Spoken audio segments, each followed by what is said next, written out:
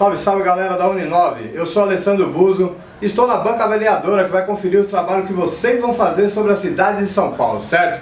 Capricha, vamos fazer um trabalho bem bonito e em março estaremos aí para conferir. Luz, câmera e ação, o seu filme tem que ser 10.